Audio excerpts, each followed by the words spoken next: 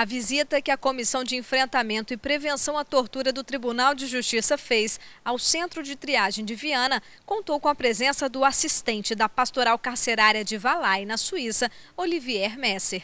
O suíço aproveitou a oportunidade de estar em Vitória para conhecer as instalações de um presídio brasileiro.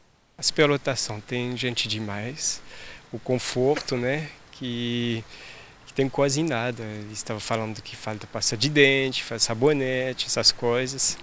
E também a situação para dormir, que achei muito difícil.